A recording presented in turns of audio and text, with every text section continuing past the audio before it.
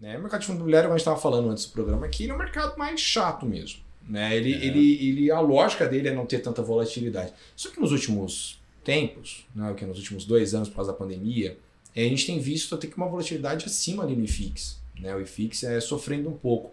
Como é que vocês têm visto isso daí? Até porque vocês fizeram esse acordo com o Grupo de Açúcar pré-pandemia, você citou, né? Como é que foi a pandemia para a TRX é, e para esse setor? Como é que vocês sentiram esse setor como um, como um todo? É, bom, assim, o, o IFIX ele tem tido uma maior volatilidade, mas mesmo assim, quando você compara com, com investimento em ações ou qualquer outro tipo de ativo de renda variável, né, hum. é, ainda é uma volatilidade menor. Hum. O que a gente tem visto no IFIX desde... O IFIX teve uma queda abrupta um pouquinho antes da pandemia. Na verdade, quando a pandemia começou, né, teve uma, uma queda bem forte. Ele estava negociando no, no, no all-time high, né, ou seja, no, no, no preço maior histórico. É, ali em dois, dezembro de 19, janeiro de 20, foi quando a gente listou no, o TXF11 na, na, na, bolsa, na B3.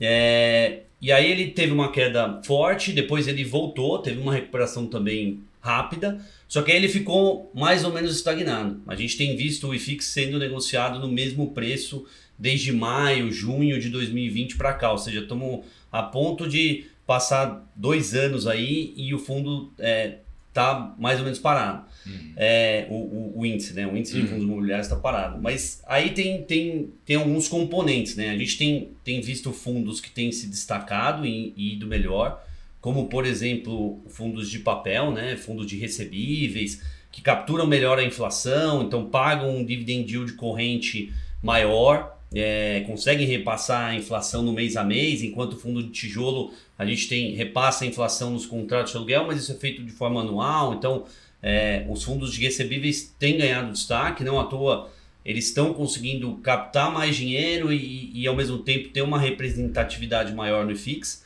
É, e os fundos de tijolo têm sofrido mais, né? ou por conta de aspectos específicos da classe que sofreram mais com a pandemia, como lajes corporativas, que as pessoas foram trabalhar de casa, né? Até aí, shopping, né? Também. É, shopping também, hum. é, que houve restrições por conta de, de distanciamento social.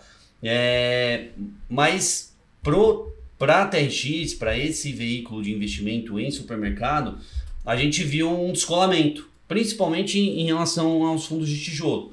Então, quando você compara o resultado histórico do, do TXF11, ele tem ali um ganho em torno de 30% em relação ao, FI, ao IFIX. Lembrando, acho que vocês batem muito nessa tecla aqui, né? Isso é uhum. é um, um histórico passado, a gente não está prometendo de maneira nenhuma é. É, um resultado futuro. É, pelo amor de Deus, viu? você que ó, você que está entrando em renda variável, entende? Essa é a frase número um de qualquer investimento em renda variável.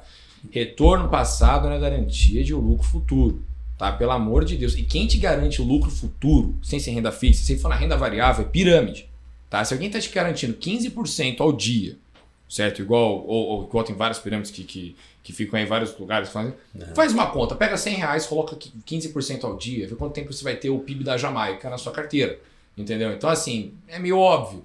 Né? Então, né? É, é, é aquilo. Então, muito cuidado, diversifique seu portfólio, entenda o mercado, estuda sobre o gestor. Sabe, Warren Buffett, que é o cara mais inteligente da história do mercado, o investidor mais, né, né a pessoa física com, com mais Sim. grana na, na, história, ele até hoje ele pega lá a mesma planilhinha dele e tal, vai lá, anota tudo bonitinho, estuda, demora 5, 6, 7 meses para tomar uma decisão. Igual o Freya Bartonek da Constellation fala, né? É, Poxa, eu demoro 6, 7, 8 meses para tomar uma decisão de comprar ou vender um papel. Eu quero entender como é que o pessoal demora 10 segundos para fazer isso e está é, achando que vai conseguir retorno nisso. Então, Tomem cuidado, certo? Diversifique o portfólio aí, faça o negócio de maneira consciente e siga os melhores aí no meio disso tudo.